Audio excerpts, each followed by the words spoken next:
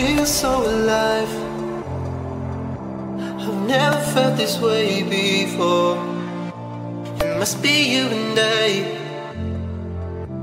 It's got me thinking about us more. It's these bright lights that put me in a daze, and I can't stop.